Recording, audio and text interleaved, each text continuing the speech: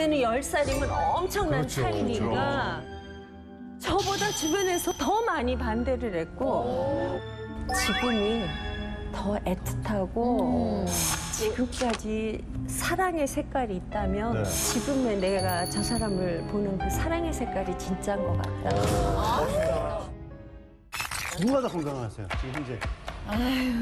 보기엔 우리 남편 장수같이 생겼죠? 네, 네. 산부인과 빼고 다 갔어. 산부인과 빼고 다 갔어. 특히 관절이 굉장히 안 좋아가지고 그 반면에 저는 관절이 아주 좋고 관절 나이는 뭐 40대 웬일이야. 아주 건강해요. 와.